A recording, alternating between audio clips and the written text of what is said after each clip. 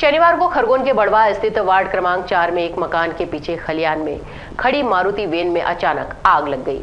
आग लगने का कारण अभी तक नहीं पता चला है। हालाँकि, आग से किसी की भी जान मान को कोई भी नुकसान नहीं हुआ। सुबह पाँच बजे से ही मोरटक्का से स्नान कर आने वाले महिला पुरुषों ने तिल, उड़द, तेल और काला वस्त्र अर्पित कर शनिदेव से सुख समृद्धि का आशीर्वाद मांगा।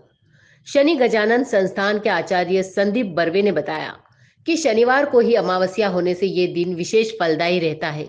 मंदिर में सुबह पाँच बजे के बाद से श्रद्धालुओं के आने का सिलसिला शुरू हो गया था। वहीं सात बजे से शुरू हुए प्रसादी वितरण में भी लोगों ने प्रसाद ग्रहण किया। इस दौरान दोपहर बारह बजे शनिदेव का महाभिषेक किया गया। शाम साढ़े सात बजे भव्य आरती के बीच श्रद्धालुओं ने भगवान की जय जयकार की। इस दौरान श्रद्धालुओं के आने का क्रम रात दस बजे तक चलता रहा। Bite, Pandit Sandeep Barve. Acharya Shani Gajanan Sansthan. Bureau report I N C twenty four news Indore.